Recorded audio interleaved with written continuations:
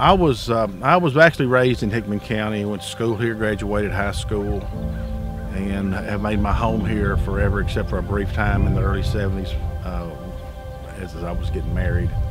Uh, but we've always lived here on this land, and it was my parents' uh, place. And uh, as far as the winery goes, um, uh, we, I was, I'm really fortunate that we have uh, the, land that is conducive to growing grapes. It's not easy to grow grapes in Tennessee. When I first started the winery, it was basically me and Gail. I mean, that was it. And everything that had to be done, we did it. After we've been open for 12 years, the winery has grown. We have a lot of employees. We have a satellite store up in Nashville. I've got my son and my daughter.